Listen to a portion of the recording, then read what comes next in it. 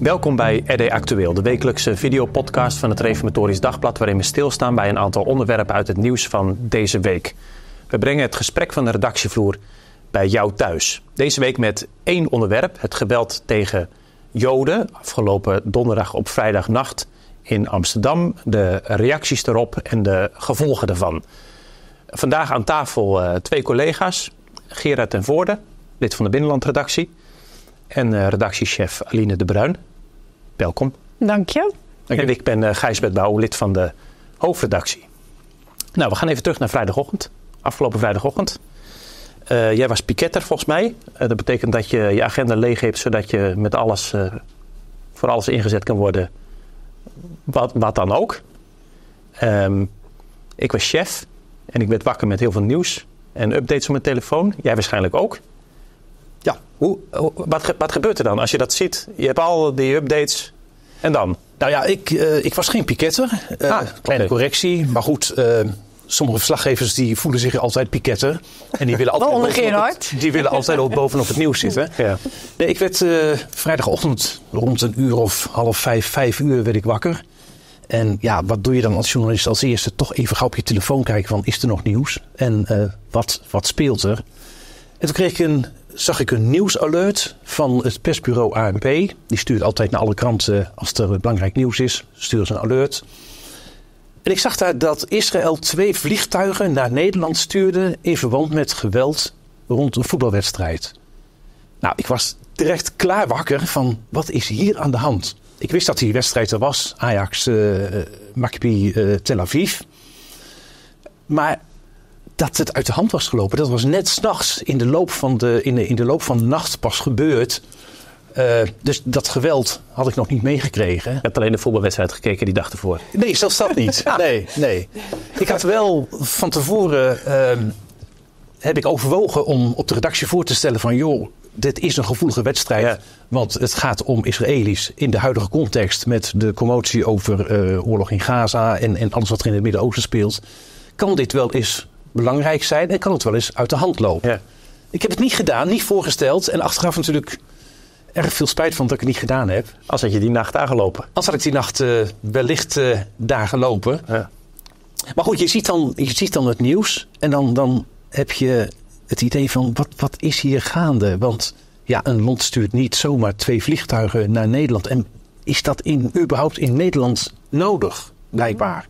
Wat heb je toen gedaan? Heb je gelijk een berichtje naar uh, Gijsbert gestuurd omdat hij chef was? Nee. Ik zie jou ook soms wel eens een beetje als het geweten van de, van de chefs. Want dan stuur je ons alweer een berichtje van dit speelt en uh, hier moet je ja, echt ja. op letten. Dus ja. Dat waardeer ik zelf altijd wel. Ja. Nee, ik, ik ben gelijk uh, naar beneden gegaan en achter mijn laptop, laptop ben ik gedoken. om te kijken van wat er aan de hand was. En überhaupt van, van wat er speelde. Nou ja, goed, er komt er allerlei nieuwsflarden. Komt dan van links en rechts komen dan uh, naar voren. Uh, ik volg ook de Israëlische media heel uh, sterk. Nou, daar kwamen echt ook, ook hele, hele duidelijke boze reacties binnen. Op dat moment is de website van het RD is nog gesloten. Je hebt die informatie wel en je wilt die graag delen.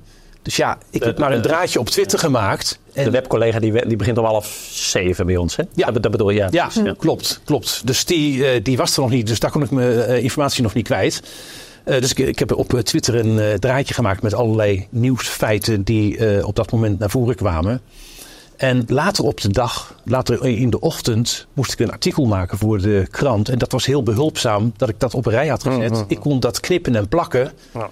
En dan had ik de basis voor het nieuws had ik uh, inmiddels al uh, op, op een rij staan. Ja. Ja. Hoe laat werd jij wakker, Aline? Vrijdagochtend? Uh, nou, wel iets later. Ik denk kwart voor acht of zo. Ja. Toen zag ik hetzelfde nieuws ook voorbij komen. Wij hebben om half negen altijd uh, de ochtendvergadering met redactie Middenland. Daar zit jij volgens mij toen ook bij, hè? Toen was je ook nog bezig met je stuk. Maar toen uh, ja, was je wel bij de vergadering ja. ook, ook aangesloten. Ja. En toen hebben we dus ook gelijk besproken van wat moeten we hier nu nog verder mee? Moeten, uh, moeten we er nog iemand naartoe sturen? Uh, daar twijfelden we ook nog een beetje over. Hè? Want ja. we wisten niet of het dan weer uit de hand ging lopen of niet. Dat weet je van tevoren natuurlijk vaak niet, wanneer die protesten gaan plaatsvinden. Nee. Toen hebben we volgens mij uiteindelijk besloten om het nog even niet te doen. Hè? Om het even af te Nee, klopt. Ja, ja. soms zo geweldsuitbarsting, dat vindt s'nachts plaats. Ja, ja, Niet zonder reden dat dat uh, s'nachts uh, plaatsvindt.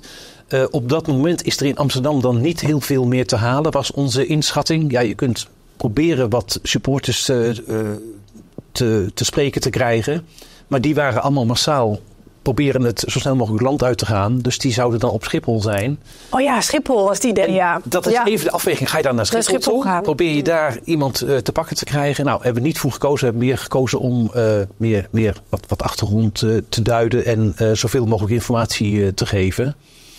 En de volgende dag hebben we wel ook reacties van supporters in het artikel in de krant meegenomen. Ja. Toen ik wakker werd, dacht ik eerst moeten we hier iets mee als krant? Achteraf denk je, hoe kun je dat natuurlijk bedenken? Ja. Uh, maar wij schrijven natuurlijk niet over sport. In eerste instantie dacht ik, dit is gewoon voetbalgeweld. En uh, ja, dan kon, kan ons weer verweten worden, jullie schrijven nooit over sport. Alleen behalve wanneer de rommel eens in de tent is, dan, ga, dan is het ED er ook bij met ja. zijn, uh, met zijn bij, zwaaiende vingertje. Um, goed, ik werd snel genezen van die gedachte. Um, hoe, hoe, hoe functioneert dat bij jou? Dacht je, zat je, heb jij ook nog in het frame gezeten? Hooliganisme of voetbalgeweld? Of, of had je meteen nou, snel door van... oh wacht, dit gaat echt over antisemitisch geweld? Nou, in het begin was dat heel, heel onduidelijk van wat er precies gebeurd is. Hmm. En dan moet, je, dan moet je ook heel erg voorzichtig zijn om uh, bepaalde conclusies te trekken voor jezelf. Uh, of bepaalde woorden te gebruiken die uh, meer suggereren als dat je kunt waarmaken. Ehm, ik zat wel een beetje in dat frame van tevoren. Van ja, ehm, het gaat om een voetbalwedstrijd met Israëli's. Dat is een uh, hoog risicowedstrijd. Uh, maar ja, voetbal ligt bij TD gevoelig. Dus ja, uh, moeten wij daar dan naartoe? Ik denk, ja, laat ik het maar niet voorstellen. Achteraf ja. natuurlijk dom. En dat blijkt maar weer dat je dus, dus toch altijd met een open blik naar de hm. ontwikkelingen moet kijken. En niet van tevoren je laat inkaderen van dat is gevoelig of dat, dat, dat moeten we een beetje ver weg van blijven. Ja. Maar gewoon open en eerlijk kijken van ja, is dit de moeite waard? En kunnen we er op welke manier over schrijven? Ja. En bedoel je dan een beetje van gezien de spanningen die er al waren, hadden we van tevoren misschien ook kunnen voorspellen dat dit zou gebeuren? Nou ja. Dat is best lastig. Want je kan niet overal bij aanwezig zijn nee. als verslaggever. Dus hoe, nee. wanneer laat je dan wel die antennes spreken en wanneer niet? Ja, ja, dat, dat is soms een beetje vingerspitsen gevoel van, van ja, gaat het mis en gaat het, uh, of gaat het goed? Dat is niet in te schatten. Maar als je weet dat er duizenden supporters komen die dwars door Amsterdam moeten en ja, en die ook hotels hebben geboekt, weten zij veel, die ook hotels hebben geboekt, wellicht in Amsterdam West. Wat natuurlijk het epicentrum is geworden van, uh, van, uh, van, uh, van de rellen, dus waar het waarschijnlijk vandaan kwam. Uh, ja, dan kun je eigenlijk op je vingers natellen dat het, de kans dat het mis zou kunnen gaan lopen toch wel heel groot is. Mm. Ja. ja. Hey, op, uh, op sociale media zie je die ochtend al heel snel allerlei beelden langskomen van, uh, van die hit- en run-acties. Van geweld tegen individuele Israëliërs. Um, hoe, hoe beoordeel je of, dat, of die echt zijn? Of dat, of dat niet nep is of oude beelden die opnieuw gepubliceerd zijn. Ja, ja dat is buitengewoon lastig. Ja. En uh, je moet je ook bedenken dat je uh, s ochtends, uh, ik ben wat vroeger naar de redactie gegaan om dit te kunnen oppakken en om het een beetje goed te kunnen doen. Um, maar dan komen van alle kanten komen er allerlei flarden aan nieuws komen er binnen. Ja. ja, wat je ziet is dat werkelijk wat er gebeurd is. Komt dat inderdaad van dat moment? En uh, is het ook wat gesuggereerd is, wordt dat het is. Dus daar moet je, moet je heel erg voorzichtig mee zijn. Een journalist heeft er natuurlijk altijd uh, allerlei trucjes voor. Je kunt altijd uh, zeggen van ja, naar verluid. Nou, dat is een mooie constatering, mooie constructie om uh, de werkelijkheid een voorboud in te bouwen. Uh, zou, zou gezegd zijn. Zou, zou gebeurd zijn. Ja. En daarmee, daarmee neem je afstand, uh, bouw je distantie in van, van het nieuws. Omdat je op dat moment nog niet zeker kunt weten wat er werkelijk gebeurd is. Uh, en je ziet dat ook, NSC heeft bijvoorbeeld onderzoek gedaan naar een bepaald filmpje waarin gesuggereerd wordt dat de taxichauffeurs in elkaar geslagen wordt in een bepaald filmpje. Nader analyse blijkt dat het geen taxichauffeurs zijn geweest, maar dat het Israëliërs zijn geweest. Nou, dat maakt nogal wat uit. Hmm. En als je dan te harde conclusies trekt, ja, dan ga je zomaar nat. En dat moet je juist in zo'n situatie die extreem gevoelig is, moet je ook extreem voorzichtig zijn. Ja, want dan gaat het alleen nog maar over, over feitelijke dingen. Is dat wat ik zie, eh, klopt dat? Ja. En dan hebben we het nog niet eens over een, een duiding als dit is antisemitisch geweld of dit is een, om het woord jodenjacht maar niet te gebruiken, of pogrom. Hè? Dat zijn natuurlijk kwalificaties die daarna al snel uh, kwamen. Of al, al, heel snel in beeld waren. Hoe ga je dan op zo'n ochtend om met dat soort frames of invalshoeken of ja. duidingen? Nou ja, dat, dat, dat is wat ik zeg, dat, vond ik extreem lastig. Ik loop al een poosje mee bij, bij deze krant. Best wel het een en ander meegemaakt. Maar ik vond dit echt, echt extreem lastig gezien de context van het hele conflict. En omdat je het juist ook eerlijk wilt doen. Uh, het, het, het woord jodenjacht en pogrom, dat, dat geeft een enorme lading aan de situatie. Waarbij je op dat moment, op die vrijdagochtend, nog niet weet of het dat ook echt heeft gehad. Namelijk de lading. De lading dat het echt ja. uh, georganiseerd uh, tegen Joden is uh, die in Amsterdam daar rondliepen. Dat het georganiseerd van tevoren uh, met een vooropgezet plan uh, is uitgevoerd. Die term die werd al, kwam al vrij snel naar voren. Hè? Die werd, dat werd volgens mij door iemand gezegd, of ik weet niet meer precies wat de context daarvan was. Toen gingen we ook tijdens een vergadering erover discussiëren van hoe gaan wij dat dan ja. overnemen? Of gaan ja. we dat overnemen of gaan we er toch wat distantie tot inbouwen, wat je net zegt? Ja. Weet jij dat nog, waar dat vandaan kwam? Ja, we hebben toen uh, gezegd op de Binnenland-redactie van... ja, dit heeft er alle schijn van dat het om een georganiseerde jacht op Joden gaat. Dus zo'n term is dan best wel gerechtvaardigd. Ik heb in het stuk toen uh, ervoor gekozen uh, om het woord pokron niet in de kop te zetten. Vond ik op dat moment niet, uh, niet kunnen. Het werd vanuit Israël wel in die context gebracht. Dus ja, wat doe je dan? Dan laat je het gewoon voor de verantwoordelijkheid van degene die het gezegd hebben. En ik heb het nadrukkelijk wel meegenomen in het artikel om te laten zien van het gaat echt ergens over. En deze gevoelswaarde heeft het. Of het dan wel of niet terecht is, dat moet later blijken. Maar die gevoelswaarde heeft het wel. Uh, dus laat dat ook in het artikel maar doorklinken. Maar pas op dat je dat niet als vaststaand feit op dat moment wilt brengen. Ons zou ook verweten kunnen worden: je, je bent zo voorzichtig, zo terughoudend, zo afwachtend. Je, je, je hebt geen oog voor de ernst van, van de situatie. Het gaat nogal eens ergens ja, over. Zeg. Absoluut. Geweld, ja. geweld tegen Joden ja. om het feit dat ze Jood zijn. Ja. Dat is weer de andere kant, hè? Dat is de andere kant. En, en zo zit je als, als journalist tussen die twee spanningsvelden waarbij je uh, recht wil doen aan de werkelijkheid, maar ook niet wilt escaleren.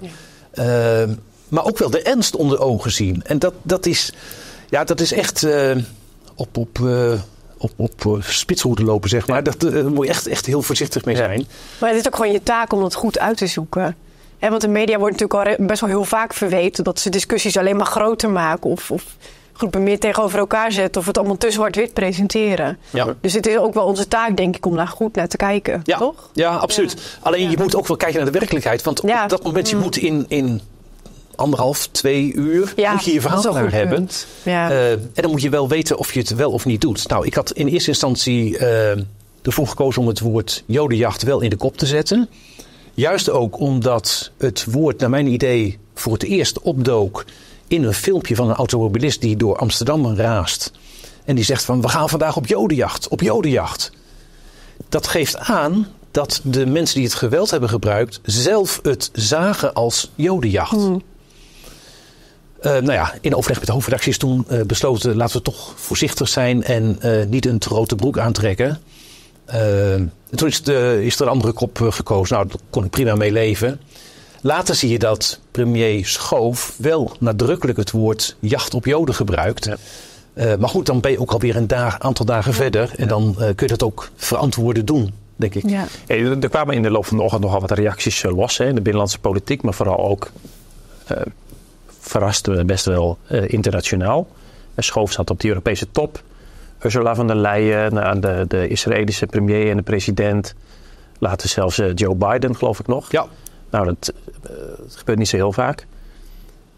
In hoeverre zaten er in die hele snelle buitenlandse redactie, reacties wat jou betreft ook iets van uh, ophef, commotie, zonder echt precies te weten wat er aan de hand was? Ja, ehm, de reacties vanuit het buitenland en, vanuit het binnenland spraken ook vooral afschuw uit. Ehm, wat er dan precies gebeurd is, ja, afschuw past dan altijd wel in, dat, in zo'n situatie. Ehm, ja, achteraf heeft premier Schoof ook meegedeeld, ook, ook geopenbaard dat hij op de top in uh, Boedapest, dat hij ook regeringsleiders gevraagd heeft om te reageren uh, op deze ontwikkelingen. Omdat dit zo diep gaat en dit zo schokkend is. En eigenlijk elk voorstellingsvermogen te, te, te, te, boven gaat. Uh, en ook niet echt een Nederlands probleem is. Je ziet dat er gewoon Europees Europa breed wordt, uh, wordt wordt, wordt, wordt mensen er tegenaan lopen, landen er tegenaan lopen. Maar ook wereldwijd. Gewoon een groei van het antisemitisme. Ja. Dus ik denk dat het heel goed is dat ze hun stem hebben laten horen. Ja. Eh, daar werd nog alles uh, de link met de Tweede Wereldoorlog uh, gelegd. Bewust of direct of, of indirect. Um, we hebben ook gesproken over, kiezen we het woord Joden of Israëliërs. En uh, nou, bij het woord pogrom heeft ook een directe connectie met, met, met de geschiedenis. Ja. Um, in hoeverre heeft, heeft die, die, die, geschiedenis zeg maar, meegespeeld in je afweging voor jou bij welke woorden gebruik ik en welke niet?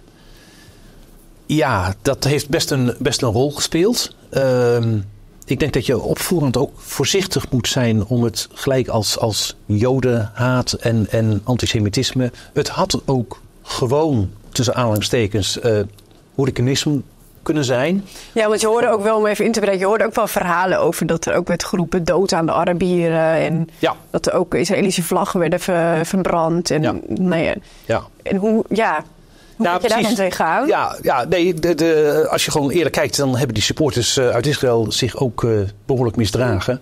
Met uh, dood aan de Arabieren. Ja. En ze hebben geen scholen meer nodig. In nee, want die gaat ligt op. Ja. ja, dat gaat ook echt alle berken te buiten. En dan moet je ook wel eerlijk benoemen. Je moet ook niet uh, oogkleppen op uh, hebben en zeggen van ja, maar het gaat alleen om, om de Joden en over wat verschrikkelijk die Joden. Uh, een aanleiding is bijvoorbeeld die, zijn die spreekhoren van die supporters. Ja. Maar nu achteraf blijkt dat het geweld tegen die supporters, tegen die Israëliërs en tegen de Joden, dat die al lang voor die jodenjacht, voor die nacht met geweld, hebben plaatsgevonden.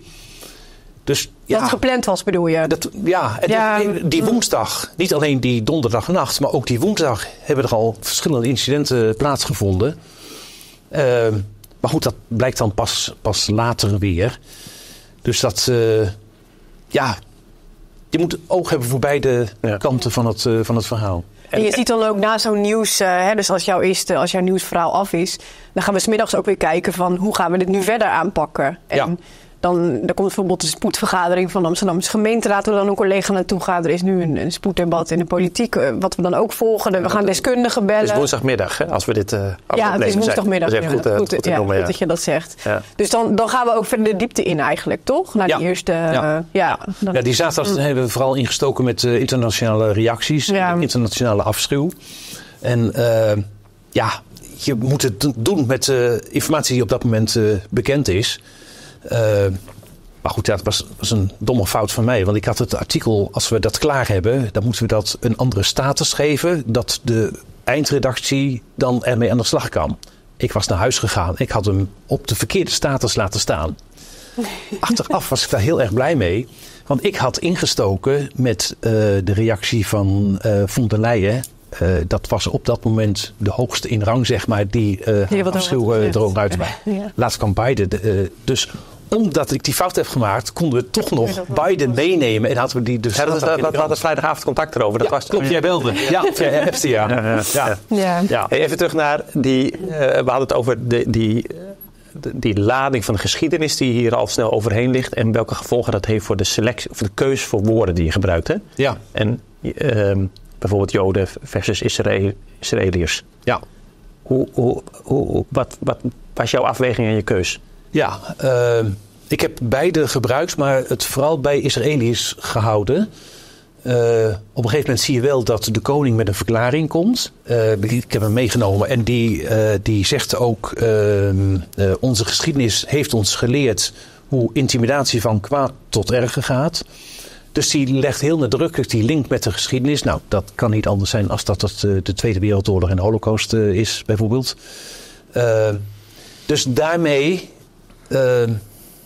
geeft hij die uh, link naar het uh, uh, verleden aan. En dat maakt ook de hele situatie zo extreem gevoelig. Juist ook in Amsterdam.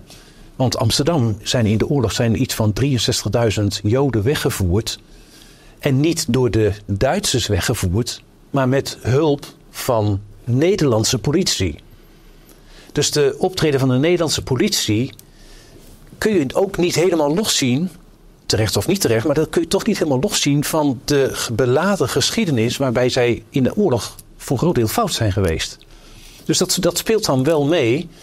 Uh, tegelijkertijd moet je ook wel, wel eerlijk en nuchter blijven en uh, niet te pas en te onpas Joden en Jodenhaat en Jodenjacht uh, benoemen. Terwijl je dat ook volstrekt niet uit de weg moet, ja. gaan. Ja. ja. Hey, toen was het, uh, uh, zou een spoeddebat komen in de Amsterdamse Raad. En uh, Halsema zei, ik kon er met de feiten helaas. Ja. Altijd goed. Ja. Um, die heb je ook... heb ik ook meegenomen. Ook meegenomen. ik heb niet helemaal gelezen. Oh. Zaten daar nou heel veel nieuwe inzichten in? Nou, een, uh, ik heb eerlijk gezegd het debat uh, niet helemaal gevolgd in de gemeenteraad. Ik ben wel even wezen kijken. Dat heeft een collega gedaan, hè? Collega, Johannes. ja, ja, collega Johannes Visser die heeft dat uh, gedaan. Ja.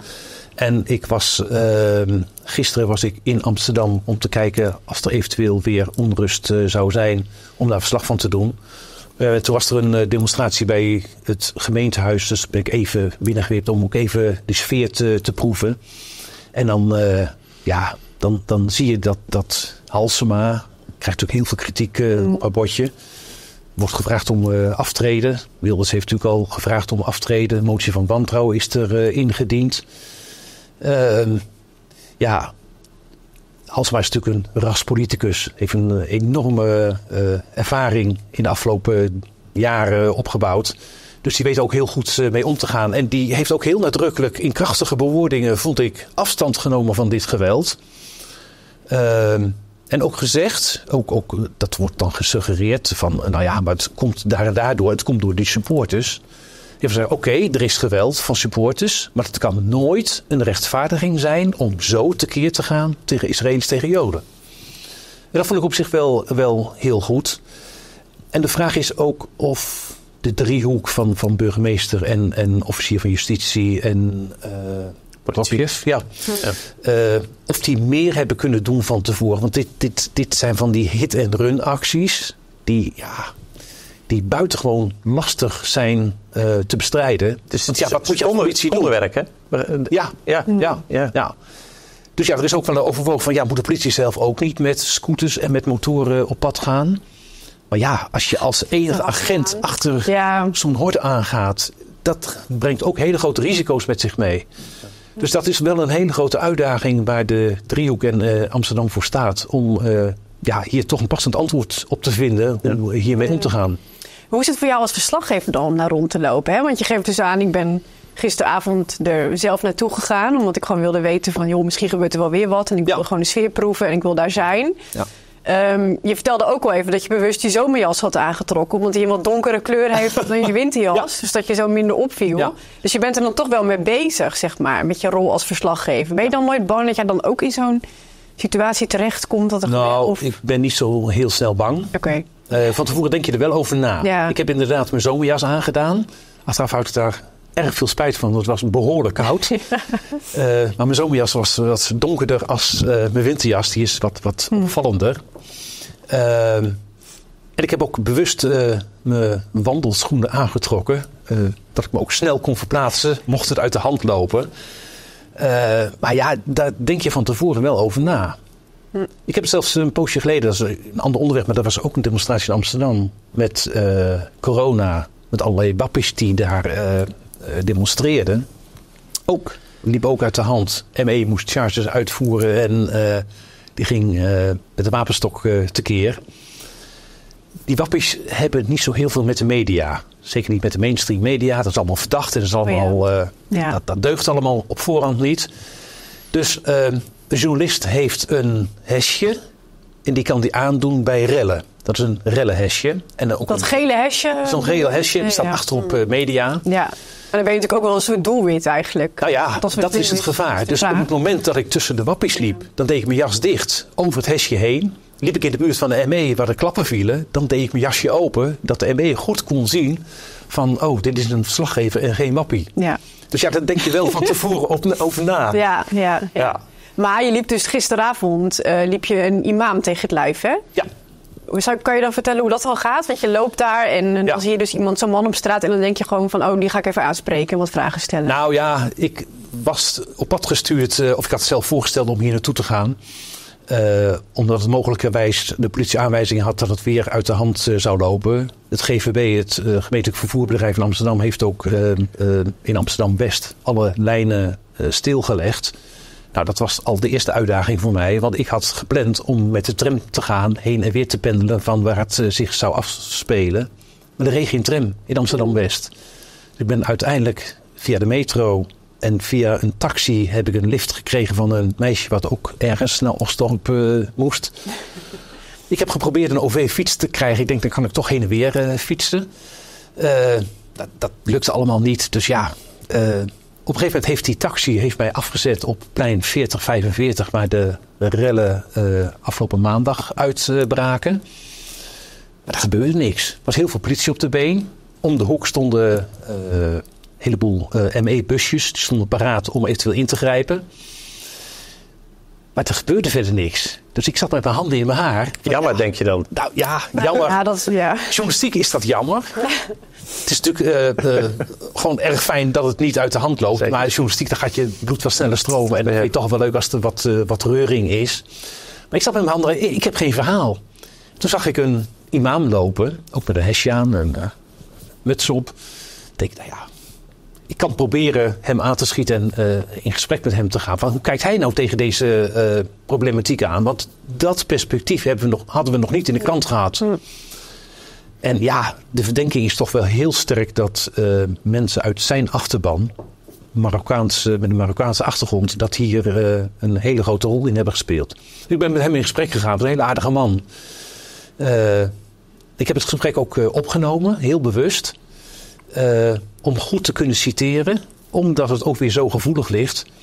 Uh, maar goed, dan zie je, en dat verbaasde mij op zich wel, dat zo'n man uh, ja, in hele vage bewoordingen eigenlijk heel bijna kunt praten over het geweld wat toegepast is op die Israëliërs.